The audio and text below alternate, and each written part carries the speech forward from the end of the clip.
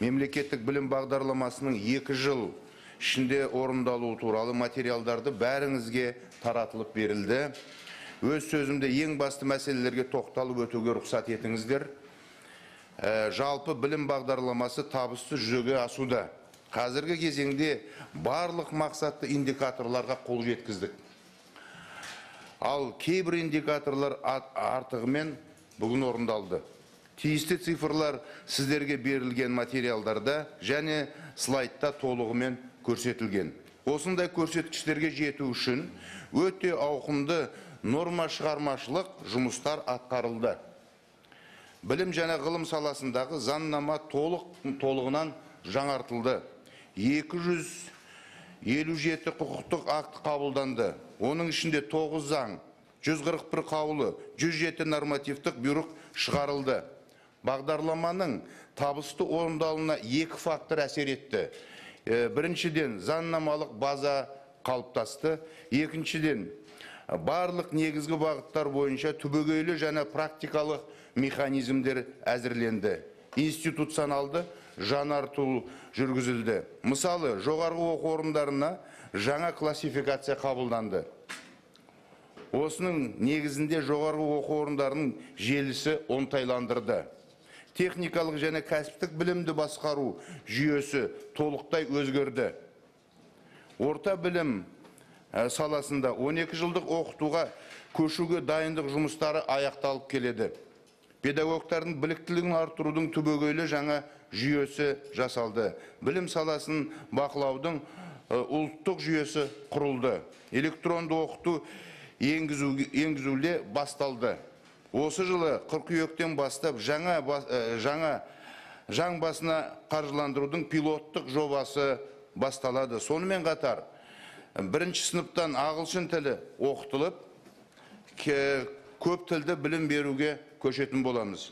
Аталған механизмдерді толық іске қосу Қазақстандағы барлық білім беру жүйесіне сапалы өзгерістер әкеледі. Мұндай өзгерістердің бас- басталғанына бәріміз де куә болып отырмыз. Уважаемые коллеги, в системе дошкольного воспитания по охвату детей у нас идет опережение плана. С 2010 года число дошкольных организаций увеличилось почти вдвое до 88 590. Их прирост составил более 4 тысячи.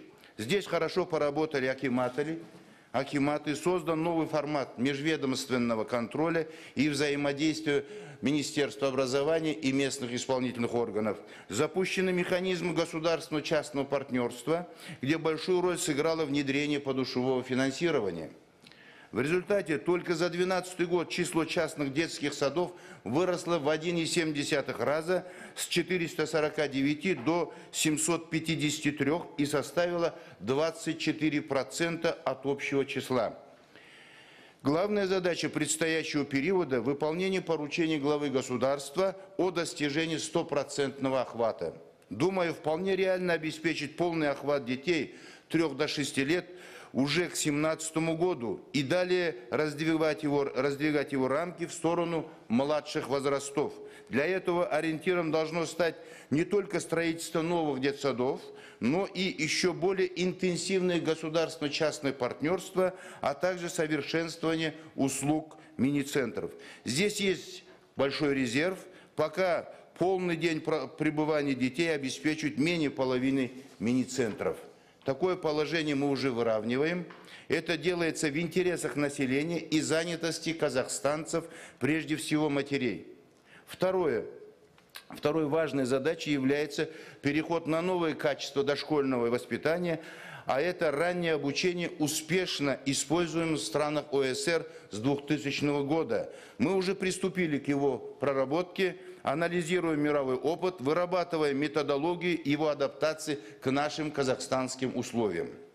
В среднем образовании мы активно продвигаемся к 12-летнему обучению, завершаем его апробацию в 104 школах, а с 2015 года начнем полный переход на 12-летнее обучение. При этом, наряду с выработкой базы 12-летней школы обучения, мы пересмотрели и приняли новый стандарт 11-летней подготовки. Ведь в переходный период по этому стандарту будет учиться значительная часть школьников до 2019 года.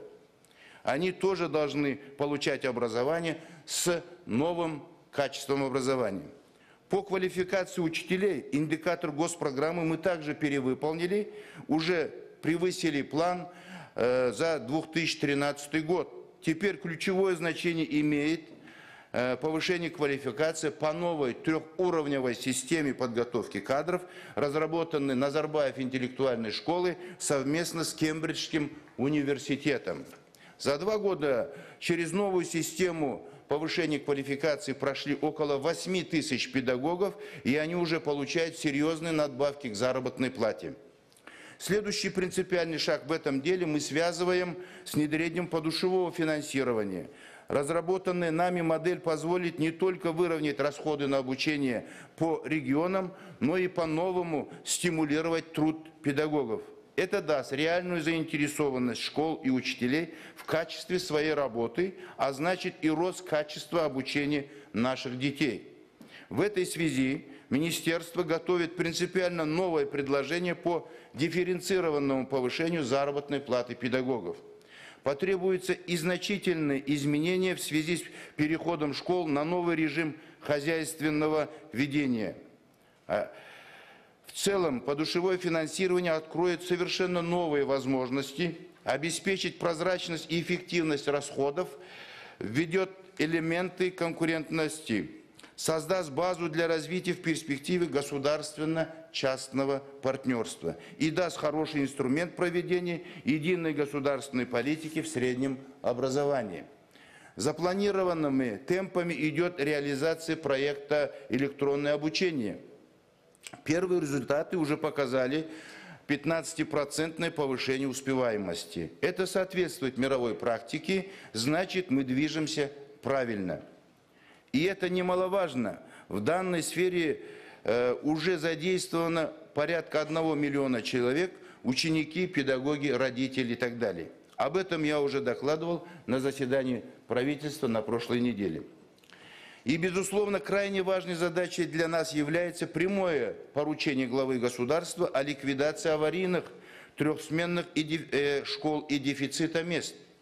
Если в 2011 году для этого была введена только 21 школа, то в 2012 году уже 56 школ, это я говорю только о республиканском бюджете, на предстоящий период все планируемые – к строительству школы нацелены исключительно на решение данной задачи. И мы готовим предложение в правительстве по дополнительному строительству школ. Также нам предстоит существенно укрепить взаимодействие с местными органами в координации капитального ремонта.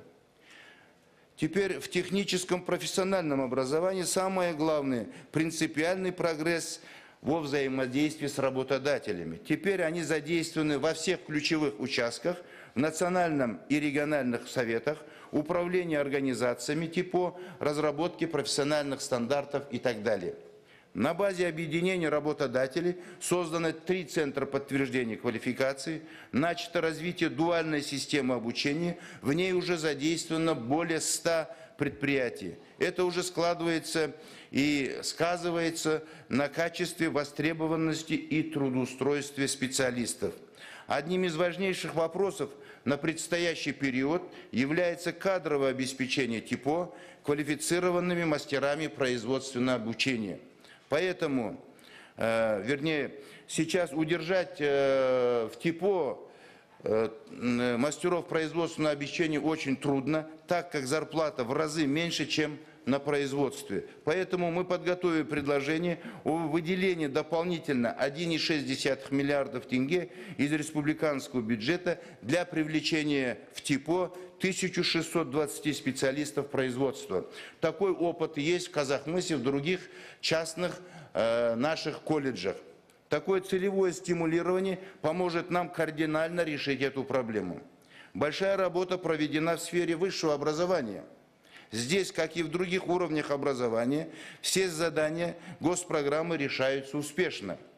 Во всех вузах внедрена кредитная технология обучения, расширяется академическая мобильность и свобода, автономия вузов Впервые начата государственная поддержка академической и научной мобильности и так далее. По поручению главы государства проводится оптимизация высших учебных заведений. На сегодня число вузов, э, на сегодня число вузов сокращено со 149 до 136, прежде всего их укрупнением. Практика показывает, что большая часть коммерческих вузов не выдерживает планку по качеству образования. Поэтому в течение ближайших трех лет планируется сократить их число с 66 до 30, прежде всего за счет укрупнения. К этому мы подходим очень ответственно, проводим самый детальный анализ по материальной базе, преподавательскому составу, востребованности выпускников и так далее. И единственной целью оптимизации считаем обеспечение необходимого качества подготовки. Вузы в результате укрупнения повышают свой потенциал и способны обеспечить конкурентоспособность выпускников. Причем для всех студентов объединяемых вузов будут созданы условия для продолжения учебы. Не исключается оптимизация и государственных вузов, особенно в свете поручений главы государства об их специализации на потребности регионов. В итоге в ближайшие два года общее число вузов страны станет около 100. Это позволит нам выйти на принятый в развитых странах показатель числа вузов по отношению к населению. Особой нашей заботой является востребованность специалистов. Для этого Министерство ежегодно корректирует госзаказ в соответствии с потребностями рынка труда и фирм. Результатами является рост трудоустройства наших выпускников. В 2010 году 60%, в 2012 65%, а к 2015 году выйдем на 78%.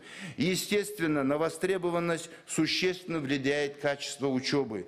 Здесь у нас подключены еще два новых механизма. Это академическая мобильность в лучших вузах мира и приглашение ежегодно около тысячи лучших профессоров э, зарубежных вузов. Выполняется поручение главы государства о росте инновационной роли вузов. Более чем в два раза выше плановой стала доля вузов, создавших подразделения научных, проектно-конструкторских организаций. Теперь нам нужен реальный научно-инновационный выход. Для этого надо наладить эффективное взаимодействие вузов с бизнесом. Здесь большой спектр вопросов, и решать их нам надо, сообщаясь с участием местных исполнительных органов, работодателей, новых механизмов ГЧП. Буквально несколько слов о науке скажу. За два года здесь внедрена принципиально новая модель управления, механизмы финансирования и подготовки кадров. Могу отметить два важнейших результата. Во-первых, удалось переломить тенденцию старения и сокращения кадрового потенциала. В науку пошла молодежь. Если при старой системе в науке оставались только 4% защищенных кандидатов и докторов наук, то теперь 90% докторов PhD идут на науку. В результате начался рост научных кадров и вклад наших ученых в мировую науку. Число публикаций в авторитетных международных журналах мира возросло почти в два раза за последний год. Теперь главная задача, поставленная перед нами президентом страны, обеспечить реальный вклад науки в экономику. Уважаемый Серик Нагметович, Позвольте заверить, что все задания государственной программы развития образования будут и дальше выполняться не менее успешно. Спасибо.